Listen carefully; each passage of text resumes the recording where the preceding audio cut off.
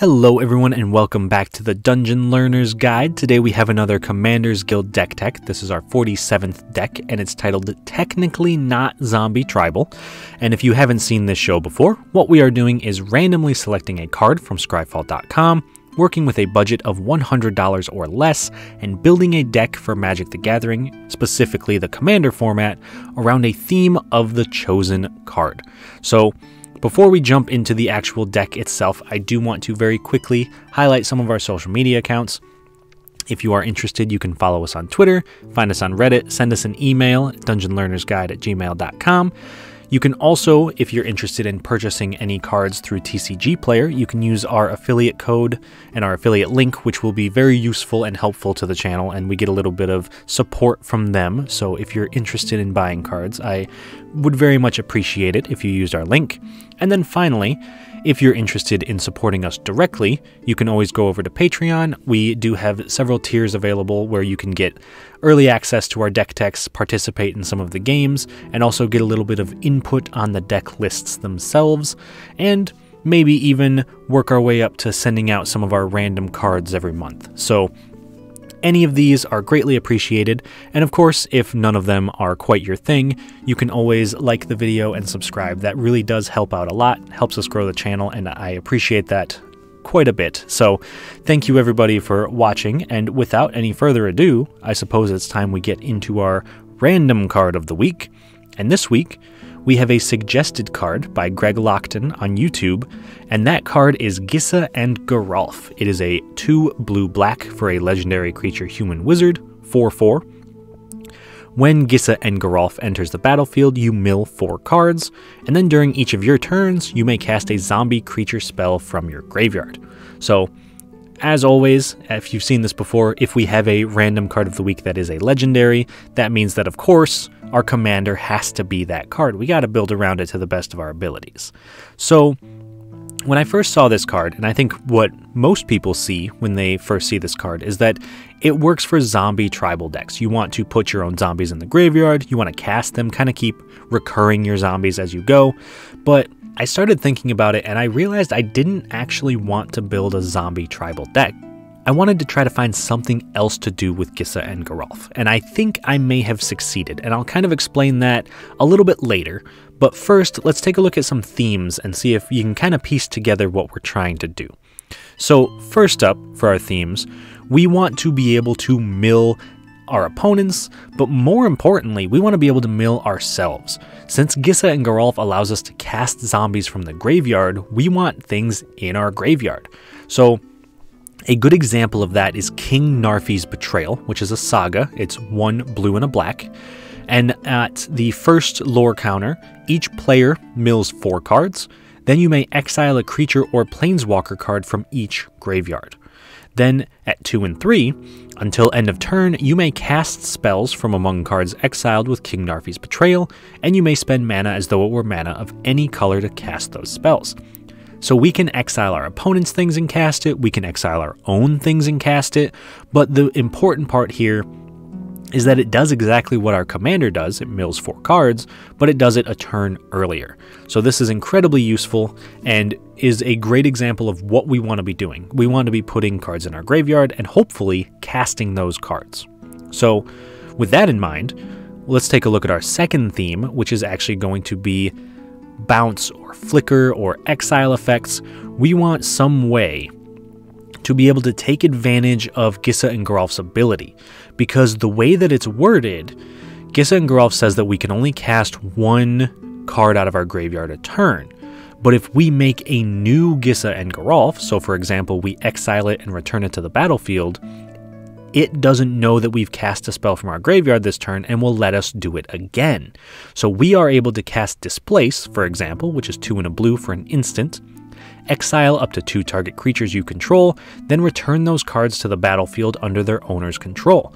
So we are able to flicker Gisa and Geralf maybe two, three times, get a ton of milling, but also cast multiple cards out of our graveyard every single time we do it.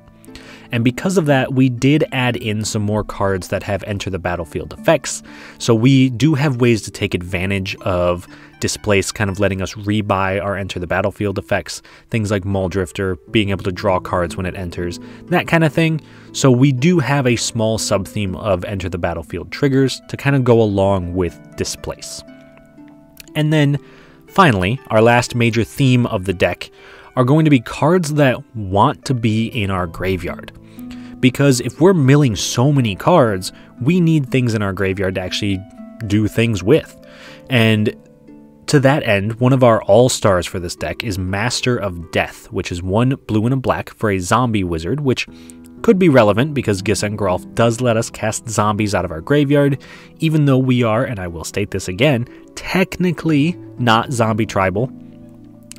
Master of Death is a 3 1 that when it enters the battlefield, you surveil 2, so you're able to look at the top two cards of your deck, put any number into your graveyard, and return any number on top. So we can again kind of put more cards into our graveyard if we want to. And at the beginning of our upkeep, if Master of Death is in our graveyard, we may pay one life and return it to our hand. So we can put it on the battlefield, maybe sacrifice it, maybe use it to block, maybe just kind of get it killed somehow.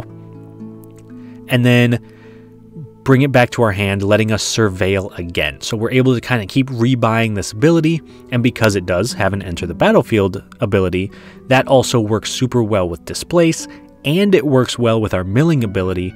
So that's really what this deck is trying to do. We want to mill, we want to blink, and we want to have some cards that care about the graveyard. So those are our main themes for this week, but themes aren't quite enough to get a deck running. We also need some key cards, some cards that really help our synergies come together. And out of those cards, the first one is going to be Gravebreaker Lamia. So, 4 and a black for a 4 4 enchantment creature Snake Lamia, has lifelink, and when Gravebreaker Lamia enters the battlefield, search your library for a card, put it into your graveyard, then shuffle your library. Spells you cast from your graveyard cost one less to cast. So, most tutors in the Commander format, cards that let you search up cards out of your deck and put them into your hand or into your graveyard or whatever, tend to be pretty expensive. Luckily, Gravebreaker Lamia is 5 mana, so it's on the higher end of mana value for tutors. Most want to be around like 2 to 3 to 4, but it's only 38 cents, so really it does perfectly for our budget deck. And it has an enter the battlefield trigger. So if we are able to blink it to exile it, bring it back, we can search for more and more cards. And then spells we cast from our graveyard cost one less, which is just a phenomenal ability in this deck. And finally, we have Gisa and Geralf. We're able to cast cards out of our graveyard, so putting it into our graveyard when we're tutoring for something is not a bad thing. Really, that's exactly what we want to be doing. In this deck, our graveyard is very much just an extension of our hand. So putting it into our graveyard, just as good as putting it into our hand, and Graveyard Lamia, definitely an all-star in this deck. So next up, our second key card is going to be Altar of Dementia, which is one of the more expensive cards in the deck, but surprisingly, not the most expensive, and it's at $8.87, and you'll see why in just a minute. Altar of Dementia, 2 mana for an artifact, sacrifice a creature, target player puts a number of cards equal to the sacrificed creature's power from the top of their library into their graveyard. So you mill equal to the creature's power. This is exactly what we want to be doing. It's able to kill off our own creatures, put them into the graveyard, so we can recast them with Gisa and Geralf, and it's milling us for more. So, for example, if we use Gravebreaker Lamia, we cast it, we put something into our graveyard, we kill it off with Altar of Dementia, mill ourselves for four more, and then there's a chance we're able to recast it, put it back into play, and repeat the process again. So, Altar of Dementia can really be an engine in this deck, and it can be super useful if we need it. But it's also just a great value piece for everything we're really trying to do. And finally, that brings us to our last key card of the deck, and in this case, it is Grey Merchant of Asphodel. You can't talk about a a blink deck that includes black without talking about Grey Merchant of Asphodel. He is 3 black black for a 2 4 zombie.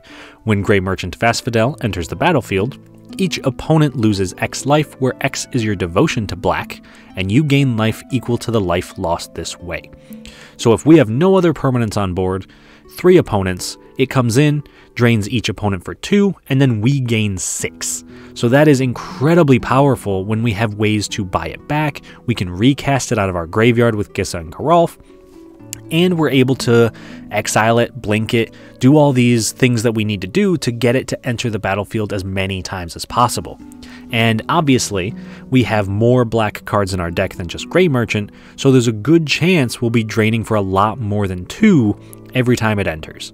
So, more than any other card in this deck, I do think Grey Merchant is the win condition. Um, it's definitely one you want to protect if you can, but it's not the only win condition, so don't let that freak you out. But it is very, very powerful because it kills our opponents and it keeps us alive. So it does exactly what we're trying to do, making it a very good key card for this deck. So now that we've talked a little bit about our themes, we've talked about our key cards, I'm going to take a look at some cool interactions in this deck, some cards that work very well together. And this is where we get to the part where I kind of explain why we are not technically zombie tribal. And it's going to be a bit of a journey, so bear with me. But we're going to start with two specific cards, and that is Rooftop Storm and Conspiracy. So, Rooftop Storm is 5 and a blue for an enchantment that says you may pay 0 rather than pay the mana cost for zombie creature spells you cast that would be super great in a zombie tribal deck, but as we've mentioned, we're not a zombie tribal deck. We do have some zombies, but that's not our main focus. However, if we pair that up with Conspiracy, which is 3 black black for an enchantment, as Conspiracy comes into play, choose a creature type. Creature cards you own that aren't in play, creature spells you control, and creatures you control are the chosen type. So, we can cast Conspiracy, name Zombie, making every single creature in our deck a zombie, whether they're in our hand, in our graveyard, in our library, in our command zone. Every single creature in our entire deck is now a zombie, meaning that we can use Rooftop Storm to cast those cards for free, making every single creature in our deck zero mana. Now, that doesn't seem especially powerful but again, we have a ton of enter the battlefield triggers, we have a ton of milling, and we have Gisa and Geralf, which can cast a zombie from our graveyard every single turn. We are now being able to pay zero for our zombies, meaning we could cast a Mulldrifter from our graveyard. We can cast the Grey Merchant from our graveyard. We can cast the Gravebreaker Lamia from our graveyard. Any single creature now is completely free, and we can play it from our hand, sacrifice it, play it from our graveyard, and keep the chain going. So, while Rooftop Storm is incredibly powerful, the key here is conspiracy. Obviously, we want to be able to cast cards out of our graveyard for free, but it's more important that we can just cast cards from our graveyard. So that is where we have conspiracy. We have arcane adaptation, which is very similar, two in a blue. As Arcane Adaptation enters the battlefield, choose a creature type. Creatures you control are the chosen type in addition to their other types. The same is true for creature spells you control and creature cards you own that aren't on the battlefield. If 2 isn't enough, we still have Maskwood Nexus, which is 4 mana for an artifact. Creatures you control are every creature type. The same is true for creature spells you control and creature cards you own that aren't on the battlefield. This one also has the additional upside of being able to pay 3, tap it, make a 2 2 shapeshifter. But maybe that's not enough. Maybe we still need more.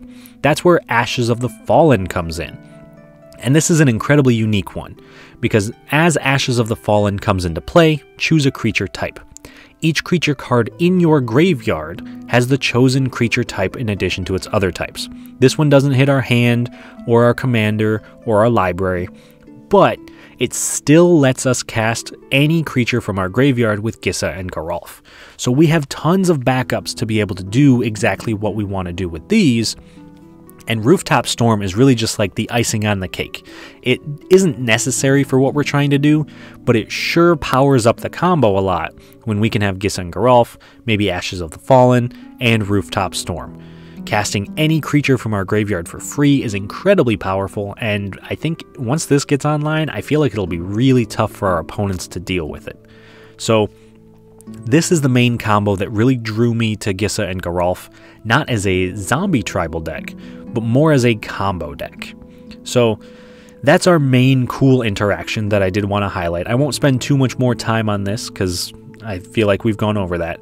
But there is another cool interaction I do want to highlight, and that is actually going to be between Lord of the Forsaken and Army of the Damned.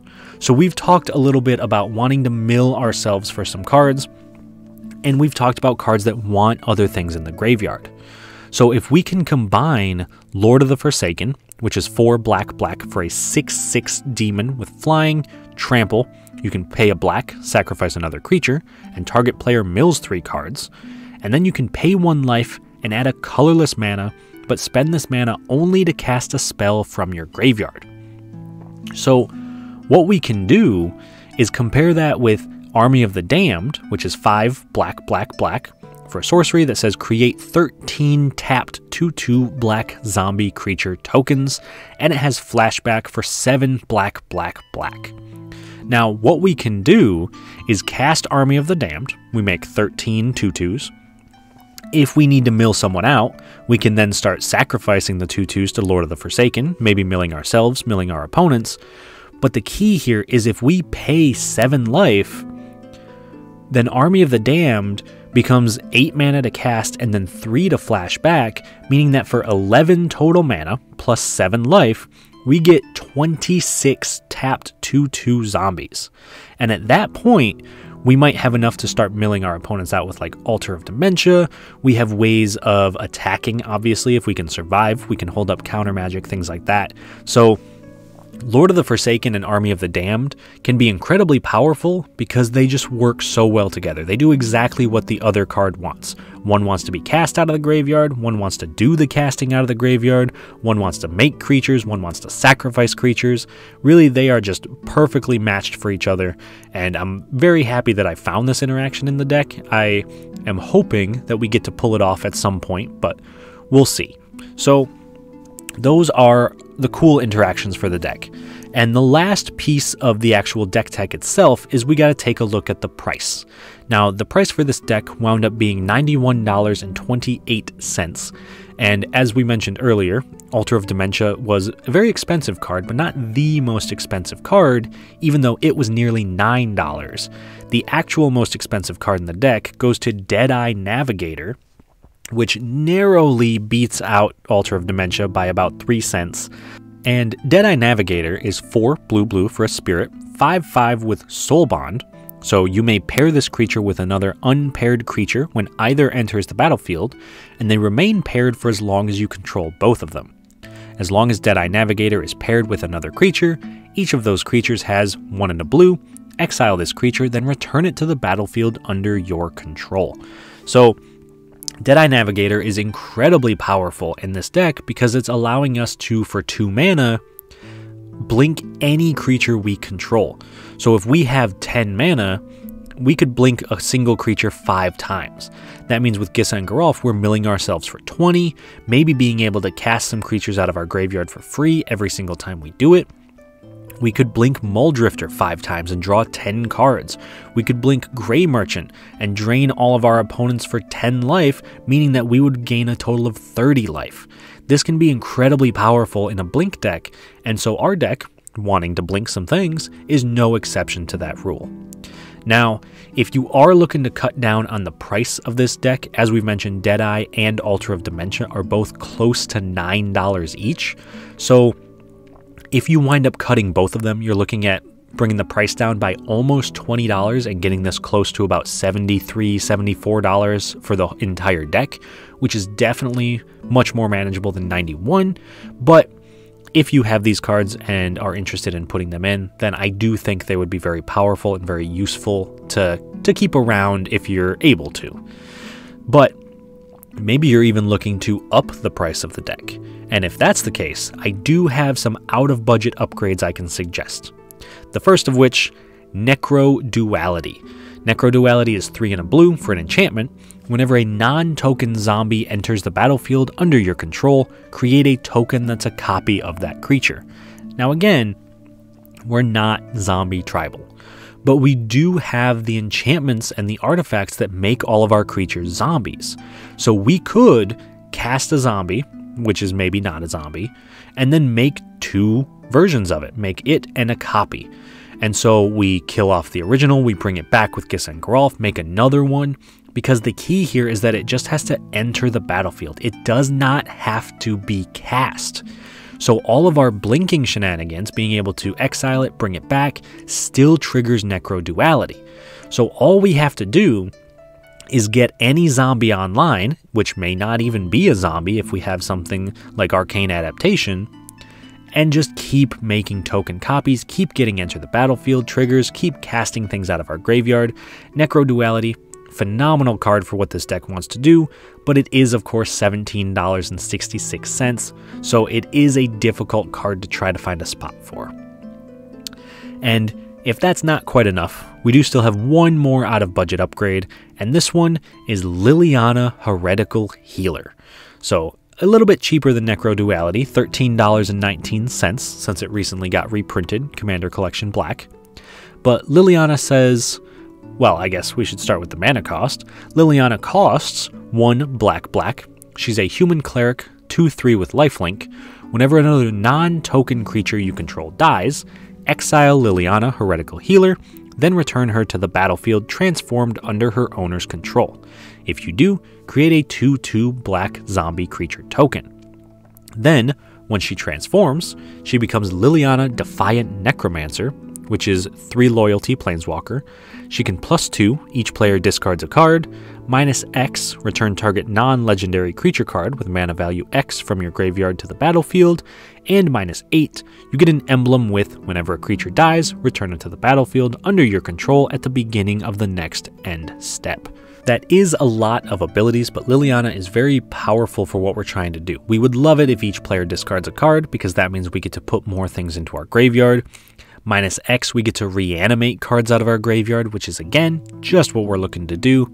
And if we're ever lucky enough to get that minus 8, being able to just immediately return cards to the battlefield when they die every single turn, at that point it's going to be incredibly hard to for our opponents to win because there's not going to be much they can really do.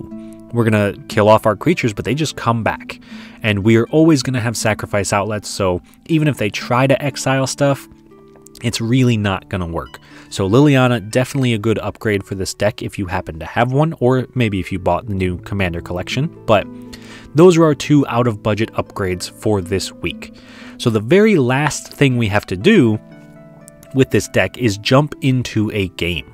Now, for the first time though, we are actually going to have two different gameplay videos for this one deck because I played a couple of games with this deck well, I only played the two, but two is a couple.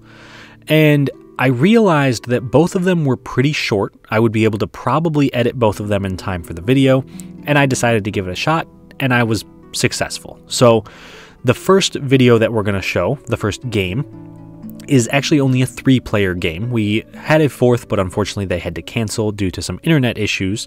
So instead, we are simply joined by George, who is playing his Millicent Restless Revenant deck, which is an upgraded precon. So there's going to be some spirits, it's going to be very tribal centered, probably a lot of flying, which is not quite that good for us. And then our second opponent is going to be Mike, who is playing his Alesha Who Smiles at Death deck. So I've played against Mike's deck before, I have not played against George's, but Mike's Alesha deck is very powerful. It can be very fast. Uh, it's definitely very graveyard centered, very combo centered. So I do think that in the short term, Alesha is probably the bigger threat, but I think if the game goes long, I think Millicent becomes the threat with the ability to kind of control things with blue and white, and then also just the massive spirits that I imagine are going to be there. So I'm interested to see how this game goes. I hope you guys enjoy it, and of course, stick around because we will have one more game after this one, which is a full four player game. So I'm also very excited for that. So enjoy the game, and I will talk to you all once it's done. At the start of the first game, George goes first followed by myself, and then Mike. On George's first turn, he plays a Plains and passes. I play a Choked Estuary, tapped, and pass. Mike plays a Mountain and passes. George plays a Nimbus Maze, and then casts Spectral Sailor, which can be activated for 4 mana to draw a card. On my turn, I play a Swamp. On Mike's turn, he also plays a Swamp, and then casts Rix Maadi Reveler, discarding a Rugged Prairie to draw a card when it enters the battlefield.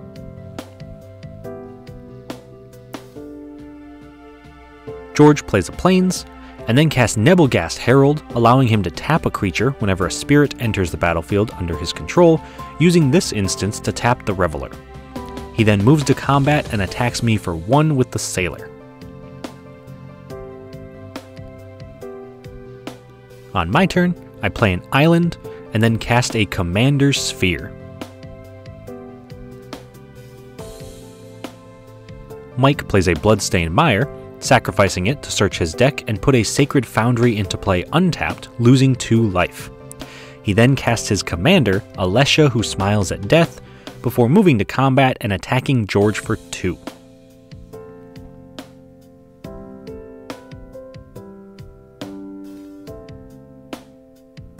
George plays a Plains, and then attacks Mike for 2 and me for 1, and then passes. I play a Terramorphic Expanse, and then cast my commander Gisa and Geralf, milling the top 4 cards of my library and gaining the ability to cast a zombie from my graveyard once a turn. Once that resolves, I sacrifice Terramorphic Expanse to put a basic land into play tapped.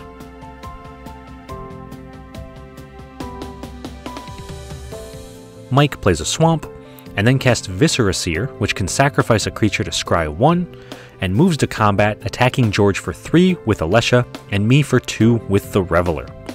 Before blocks, however, George decides to cast Benevolent Offering, choosing me as his opponent. So we both make 3 1 1 spirit tokens with flying, but we accidentally forget about the life gain part of the card. Once that resolves, but still before blocks, Mike casts Fire Covenant, paying 12 life to do 12 damage divided as he chooses, which allows him to kill all creatures he doesn't control. Then damage happens and George takes 3, while I take 2. On George's turn, he casts Breath of the Sleepless, allowing him to cast spirits at flash speed and tap down creatures if he plays a creature on an opponent's turn. I play a swamp, and then recast my commander, Gisa and Geralf, milling another 4 cards. Then, at the end of turn, Mike sacrifices his Rix Maadi Reveler to scry 1 with the Viscera Seer.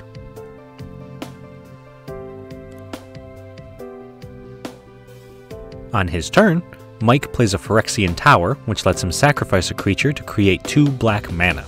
He then moves to combat, attacking George for 4 activating Alesha on the attacks to return Rix Maadi Reveler to play, tapped and attacking, doing another 2 to George, and also allowing him to discard a plains and draw a card. In his second main phase, he cast Wishclaw Talisman, which comes in with 3 counters and can be activated to remove a counter, search your library for a card, put it to hand, and then give the talisman to an opponent. On George's turn, he casts a Soul Ring, and then casts Supreme Verdict, destroying all creatures. In response, Mike sacrifices all three of his creatures to scry one three separate times with the Viscera Seer. Then the board wipe resolves, and notably, Mike lets Alesha go to the graveyard, not the command zone. On my turn, I play a Bojuka Bog, exiling Mike's graveyard, and since this exiles Alesha, he moves her to the command zone. I then decide to cast Champion of Wits, drawing two cards and discarding two cards, including a Siphon Insight and a Memory Deluge, which both have flashback. After that, I cast a Liquimetal Torque and pass. On Mike's turn, he plays a Swamp and casts Reanimate to put my River Kelpie from my graveyard into play under his control, losing 5 life since its mana value 5, and also drawing a card with River Kelpie's own ability. He then casts a Chrome Mox, exiling Mythos of Snapdax to it so that he can cast it for white mana. On George's turn, he casts a Smothering Tithe, allowing him to make a treasure token every time his opponents draw a card, unless that opponent pays 2 mana. When I draw for my turn, George creates a treasure token, and then I cast Secrets of the Dead, drawing a card whenever I cast a spell from my graveyard. I pass, but at the end of my turn, Mike casts Ad Nauseam, revealing the top card of his library, putting that card into his hand, and then losing life equal to its casting cost. Then he may repeat that process as many times as he wants. This has him revealing Mire Triton, taking 2, a Plains, taking 0, Master of Cruelties, taking 5, Skyclave Apparition, taking 3, and finally, Blasphemous Act, taking 9, knocking himself out of the game. On George's turn, he casts his commander, Millicent Restless Revenant, allowing him to create a 1 1 spirit token whenever his non token spirits die or deal combat damage to a player. At the end of turn, I flashback Siphon Insight to look at the top two cards of George's library, choosing to exile Arcane Signet, being able to cast it at any time. This also triggers Secrets of the Dead, drawing me a card, but I pay 2 so George doesn't make a treasure. When I draw for my turn, though, I don't pay the mana, allowing George to create a treasure token, and then I cast George's Arcane Signet.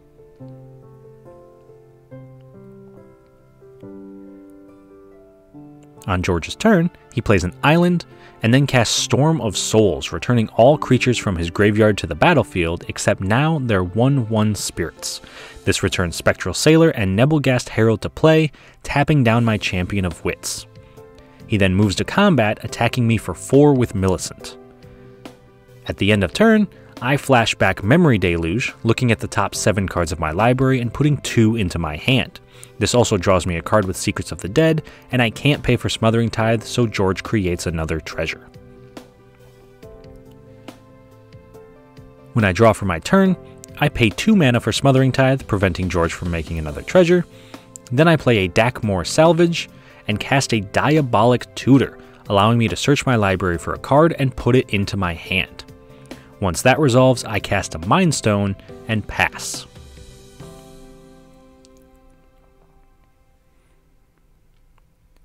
George plays a command tower and casts Mirror Entity, allowing him to give all his creatures base power and toughness X, where X is the amount of mana he pays, tapping down my champion with the Nebelgast Herald.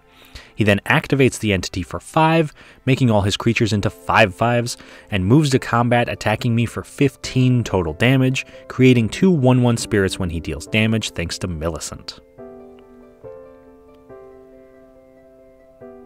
When I draw for my turn, I decide to pay 2 for Smothering Tithe, and then I cast Peregrine Drake, untapping 5 lands when it enters the battlefield. After that, I cast Archaeomancer, allowing me to return an instant or sorcery from my graveyard to my hand. This has me putting Diabolic Tutor back to hand. Then I cast Displace, exiling Peregrine Drake and Archaeomancer, returning them both to the battlefield and once again untapping 5 lands and returning a spell to my hand, this time being the Displace. With this, I'm able to loop the effects and generate infinite mana. With the infinite mana, I'm able to cast Grey Merchant of Asphodel, draining George for 2, and then continuing the loop. This time with Grey Merchant and Archaeomancer to infinitely drain George out, winning me the game. Alright, so that was game one. We're not going to do the wrap up quite yet, we'll save that until after game two, but we do still have one more game to play with this deck. And this game is going to be, like I said earlier, a four player game instead of three and we are joined by Sean, who is playing his Kumena Tyrant of Orazca deck, Bilal, who is playing Kaalia of the Vast, and Jason, who is playing Orah Skyclave Hierophant. So Kumena, Merfolk Tribal, Orah, Cleric Tribal. We've seen both of these decks on the channel before. They are both very fast, being able to gain a ton of life in Orah's case, or just put out a lot of power very quickly in Kumena's case. So Again, I think early game, Kumena's one to watch out for. Late game, Orah's one to watch out for. But the wild card in this game is Kaalia of the Vast. So I know that Bilal's Kaalia deck can be very strong. He's got the angels, the demons, the dragons, and really he wants to be able to drop a ton of power on board very, very quickly, protect his commander, kind of keep just dropping massive bombs on board. So I think that if he's able to keep his commander on board, he's going to be the biggest threat at the table. But I think if we're able to deal with his commander and he has to cast his spells fairly, that might be a different story. So I'm interested to see how this goes. We don't have a ton of removal in this deck. Um, so if Kaalia sticks, I'm kind of banking on our opponents to help us out, but we'll see how it goes. And as before, I hope you guys do enjoy the game, and once it's over, we'll be back with the wrap up. At the start of game 2, Sean goes first, followed by Bilal, Jason, and then myself. On Sean's first turn, he plays a Simic Guildgate, Bilal plays a Nomad Outpost, Jason plays an Orzhov Guildgate, I play a Barren Moor, and on Sean's next turn, he plays an Island, and then cast River Sneak, which is unblockable and gets plus 1 plus 1 until end of turn whenever another merfolk enters the battlefield. Bilal plays a Shine Shadow Snarl, tapped. Jason plays a Command Tower, and then casts a Cleric of Life's Bounty, giving him life whenever a cleric enters play, and getting a plus 1 plus 1 counter the first time he gains life each turn. On my turn, I play a Command Tower. On Sean's turn, he plays an island and casts Jungleborn Pioneer, making a 1 1 Merfolk token with Hexproof and giving River Sneak plus 2 plus 2. He then moves to combat and attacks Jason for 3.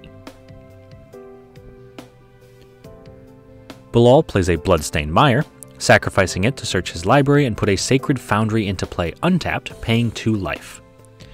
He follows that up by casting Fervor, giving all his creatures haste.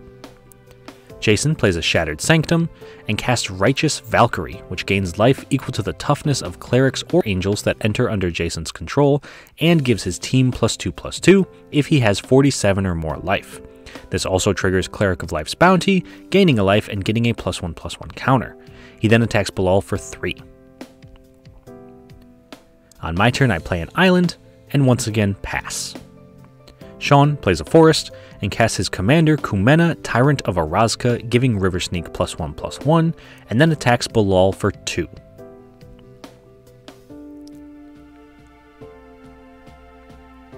Bilal plays a Plains and casts his commander Kaalia of the Vast. He moves to combat, attacking me with Kaalia for 2 since she has haste, triggering her ability and putting Gisela the Broken Blade into play, also attacking me. This ends with me taking 6 damage and Bilal gaining 4 life. On Jason's turn, he plays a Plains and casts his own commander, Orah Skyclave Hierophant, gaining 4 life from his clerics and putting a counter on the Cleric of Life's bounty, and then attacks me for 4. On my turn, I decide to play a High Market and then cast my commander, Gisa and Geralf, meaning we all cast our commanders this go around the table, allowing me to cast a zombie from my graveyard once per turn and milling myself for 4 when it enters.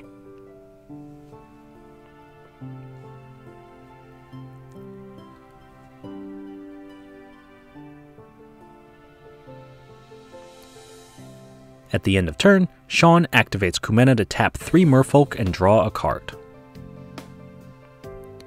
Then, when he untaps on his turn, he plays an island and casts Kopala Warden of the Waves, making his opponents pay 2 more mana to target his merfolk with any spells or abilities. After that, he casts Coral Helm Commander, and then attacks Bilal with River Sneak for 3, since two other merfolk entered the battlefield this turn.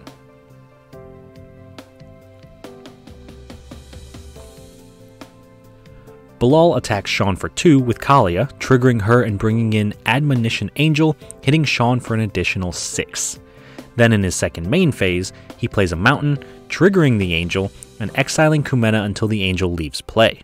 In response, Sean activates Kumena, tapping 5 merfolk to put a plus 1 plus 1 counter on each of them.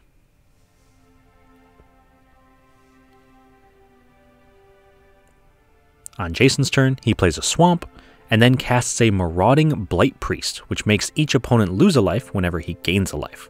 This triggers both his clerics, gaining him 2 and then 1 life, making each opponent lose 2 total, and then putting a counter on Cleric of Life's bounty.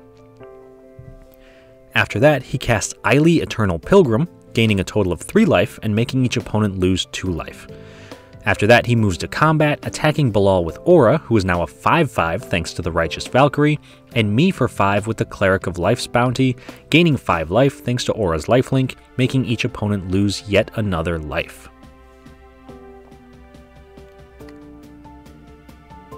On my turn, I cast Memory Deluge, looking at the top 4 cards of my library and putting 2 into my hand.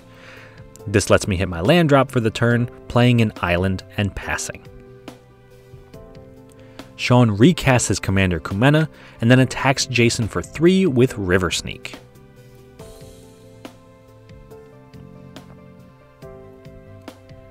Bilal plays a Caves of Koilos, triggering Admonition Angel and exiling Righteous Valkyrie. After that, he casts Skithiryx the Blight Dragon, and then moves to combat, attacking Jason with everything except for Skithiryx, triggering Kaalia, putting Lord of the Void into play, also attacking Jason. This results in Jason taking a total of 19 damage and exiling the top 7 cards of his library, allowing Bilal to put Fiend Hunter into play from among them, exiling Orah until it leaves the battlefield.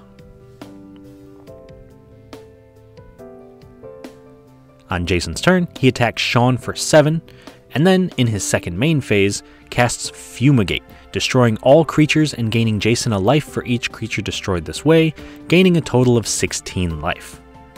In response, Sean activates Kumena to tap 3 Merfolk and draw a card. Then the board wipe resolves, returning Orah and Righteous Valkyrie to play when Fiend Hunter and Admonition Angel die. On my turn, I play a Dark Water Catacombs, and then cast Conspiracy naming Zombie to make all my creatures, even the ones not in play, zombies in addition to their other types. Sean plays a forest, and then casts Lull Mage Mentor, which makes a Merfolk token whenever he casts a spell, and can counter spells by tapping 7 Merfolk. Follows that up with Merfolk Skydiver, putting a plus 1 plus 1 counter on the Lull Mage when it enters. After that, he casts Incubation, looking at the top 5 cards of his library and putting a creature from among them into his hand, but unfortunately, he doesn't find one and has to put them all on the bottom of his deck. Bilal plays a Lava Claw Reaches, and then recast Kaalia, moving to combat and attacking me for 2 with his commander, triggering her and putting Demon of Loathing into play, hitting me for 9 total damage and making me sacrifice a creature, which luckily I don't have. On Jason's turn, he casts Soul Warden, gaining a life whenever another creature enters the battlefield. This also triggers the Valkyrie, gaining him a life, and he then casts Leyline of Sanctity, giving himself hexproof. He moves to combat, attacking Bilal for 5 with Orah, gaining 5 life. On my turn, I cast Rooftop Storm, allowing me to cast zombies for free, and thanks to Conspiracy, every creature in my deck is a zombie. This lets me cast Mulldrifter, drawing two cards, and then I follow that up by casting Patrician Geist, giving my spirits plus 1 plus 1, and reducing the cost of spells I cast from the graveyard by 1. This also allows Jason to gain 2 life from his Soul Warden. On Sean's turn, he plays an island and then recasts his commander Kumena, gaining Jason another life. On Bilal's turn, he plays a Grand Coliseum and then casts Aurelia the War Leader, gaining Jason another life. He then attacks Jason for 7 and Sean for 5 with Kaalia and Aurelia, this triggers Kaalia, but Bilal has no cards in hand to put into play, and it also triggers Aurelia, untapping all his creatures and giving him an additional combat step after this one. They take the damage, and Jason is forced to sacrifice a creature, sacrificing Orah and returning Fiend Hunter to play with his ability. This lets him exile the Demon of Loathing until the Hunter leaves play. In Bilal's second combat phase, he attacks Sean for 3 with Aurelia, but leaves Kaalia back.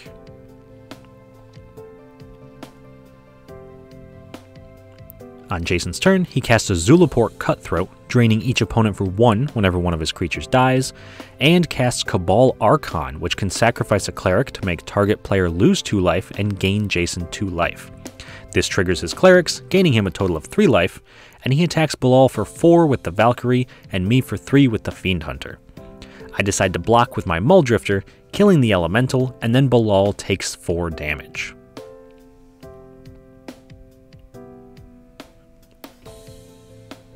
On my turn, I recast Gisa and Geralf, only having to pay the commander tax thanks to Rooftop Storm and Conspiracy, milling four cards, which are unfortunately all lands.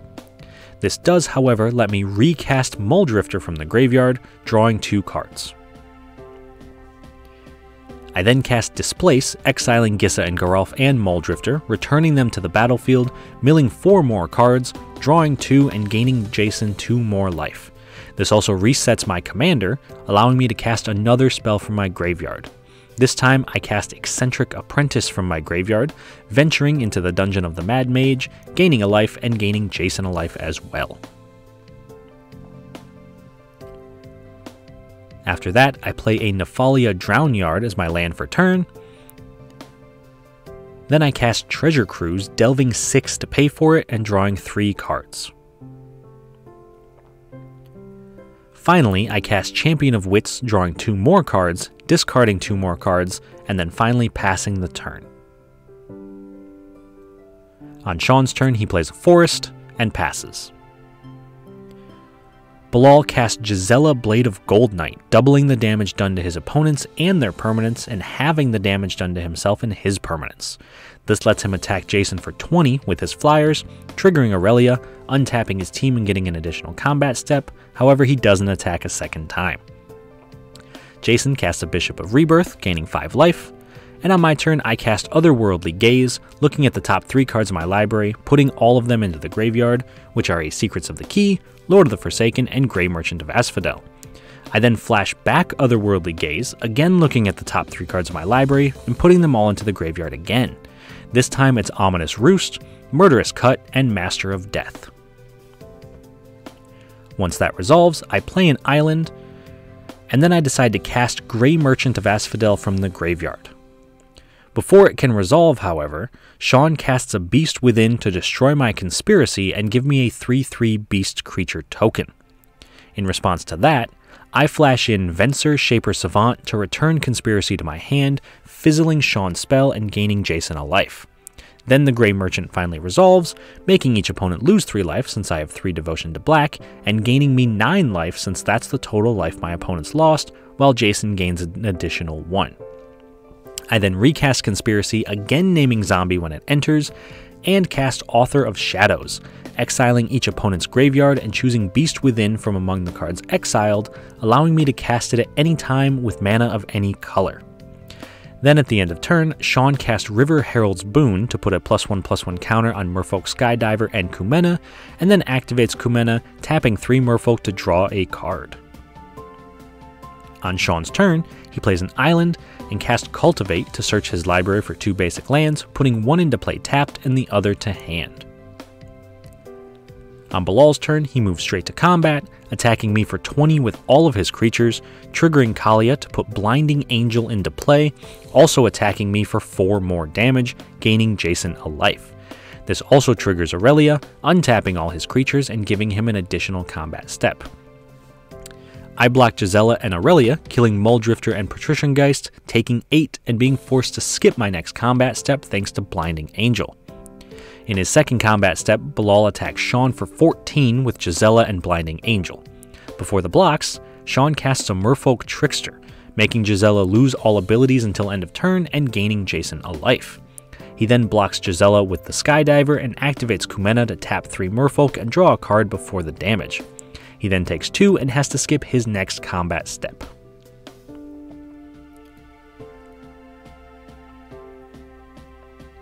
On Jason's turn, he casts Remorseful Cleric, gaining 2 life, and then sacrifices Remorseful Cleric to exile my graveyard, making each opponent lose a life while he gains yet another life. After that, he moves to combat, attacking Sean for 5 with Bishop of Rebirth, returning the Remorseful Cleric to play with its attack trigger, gaining another 2 life. Sean then blocks with Kumena, returning his commander to the command zone yet again.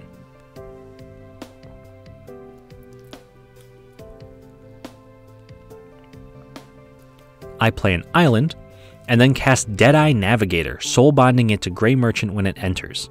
This means that I can pay 2 mana to exile either creature and return it to the battlefield under my control.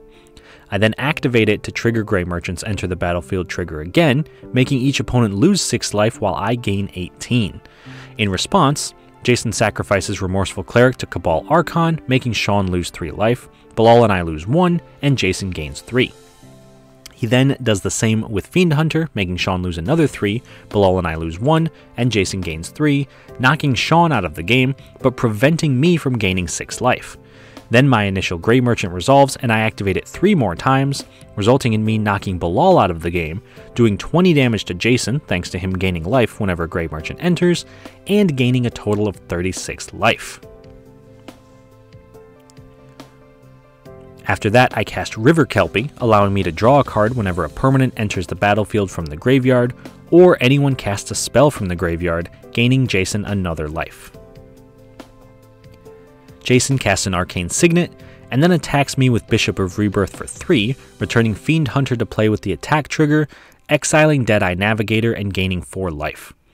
I also draw a card with River Kelpie, and then block the bishop with Gisa and Geralf, but Jason sacrifices it to Cabal Archon, making me lose 3 life while he gains 3. In his second main phase, he casts a Doomed Necromancer, gaining 3 more life. On my turn, I sacrifice Champion of Wits with High Market, gaining a life, and then I recast the Champion of Wits from the graveyard, drawing 3 cards and discarding 2, gaining Jason another life. After that, I play an island and cast King Narfi's Betrayal, milling each player for 4 and allowing me to exile a creature or planeswalker from each graveyard. This lets me exile Jason's Remorseful Cleric and my Solemn Simulacrum.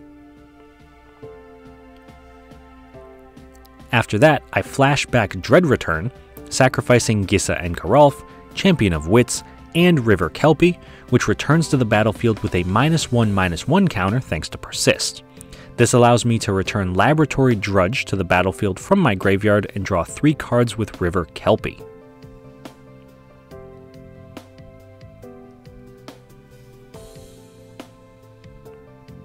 After that resolves, I cast a Gravebreaker Lamia, allowing me to search my library and put a card into my graveyard.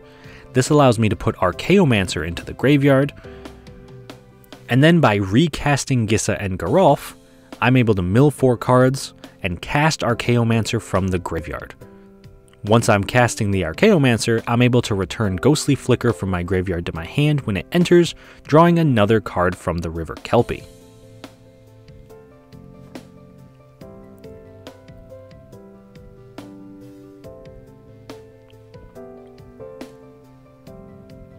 At the end of turn, I draw a card with Laboratory Drudge since I cast a spell from my graveyard this turn. On Jason's turn, he casts Vito, Thorn of the Dusk Rose, making it so that whenever he gains life, target opponent loses that much life. This gains him 4, so I lose 4. He then activates Doomed Necromancer, sacrificing it to return Bishop of Rebirth to play, and this results in me losing a total of 7 life while Jason gains 6 and I draw a card. After that, he moves to combat, attacking me for 4, and I block with Eccentric Apprentice, killing my creature. At the end of turn, I flash in Shadowkin. In my upkeep, Shadowkin mills each player for 3, but I opt not to exile any of them. In my first main phase, I cast Ghostly Flicker, targeting Gravebreaker Lamia and Archaeomancer, exiling both of them and returning them to play. This returns Ghostly Flicker to my hand and lets me search my library, putting Peregrine Drake into the graveyard. I can then cast Peregrine Drake with Gisa and Geralf, untapping 5 lands when it enters, and using it and Archaeomancer to cast Ghostly Flicker an infinite number of times and gain infinite mana. This will also be gaining Jason 2 life and making me lose 2 each time the loop happens, but I'm able to switch between Grey Merchant and Peregrine Drake, making Jason lose more life than he can gain, infinitely draining him out, winning me the game. Okay, so we had both of our gameplay videos for this week. They were both super sweet games. Um, I'm a little bit biased, obviously, because we did manage to take down both of them. Gisa and Geralf definitely proved their worth. Um, very powerful. I do think it's interesting, though, that in both games we actually won with the exact same combo, with one exception. In the first game, we won with uh, Archaeomancer, Peregrine Drake, Grey Merchant, and Displace. And the second game we won with Archaeomancer, Peregrine Drake, Grey Merchant, and Ghostly Flicker. So arguably the exact same combo both times, which is not always how it's meant to go, but that is definitely like the easiest way to win out of all the things in our deck. It is very difficult to construct though because it is a four card combo that needs to not really be interacted with to be able to win. So I do think that it showed its power, but I also think it showed a little bit of its weaknesses because if one of those combo pieces had been exiled, I'm not 100% sure what we would have done. I think we may have still been able to win, but it would have been a little bit difficult. And other than our deck, of course, I do think there were some highlights from everybody else's deck as well. George seemed very strong out of the gate, and he specifically mentioned at the end of the game there was one time when I paid for his smothering tithe that if I hadn't, he would have been able to flash in his uh, changeling at the end of turn, so he could have actually killed me on his turn. So let this be a lesson to everybody. Pay for smothering tithe if you can, because if you don't, it might kill you. And then Mike, of course, had uh, very unfortunate luck with his ad nauseam there, uh, hitting himself for nine. Again, he mentioned that his total mana value for his deck was very low, so the 9 was very, very unlucky, but it was pretty funny, I'm not gonna lie. We all got a pretty good laugh out of it, so I'm glad to see that he had a sense of humor even after knocking himself out. And then in the second game, I was kind of right when I said that Bilal was probably going to be a massive threat because he was swinging for 15, 20 damage every single time once he got Gisela on board was a very big threat. I think that Sean could have been a much bigger threat if he'd been able to keep his commander. Unfortunately, it kind of kept dying on him, and he wasn't able to draw as many cards and make his creatures as big as he wanted. And then Jason, definitely a bigger threat than anticipated, even in the early game. I knew that later on he would be a bit of a problem, but I didn't anticipate him gaining so much life so quickly and then pumping up his team with the Valkyrie. So being able to kill him at the end was very lucky because if he had some way to interact or to gain more life than I could do in terms of damage, then we just couldn't have gotten there. So all the pieces just kind of fell in for us, luckily. But I do think that everybody else had phenomenal decks and put up a great game. So very happy to be involved in that. But I do think that is where we will wrap up our video for today. I know it's been a bit of a long one with the two separate uh, gameplay videos, but let me know what you think. Let me know if you would like to see the two gameplays return more often. I can't promise they'll be every week, but if they can be more often, that would be great. Or if you just want to go back to one, that's fine too. So let me know what you think in the comments below. As I mentioned before, please do like and subscribe. It helps out quite a bit. But with all that being said, I will see you all on the other side of the Dungeon Learner's Guide.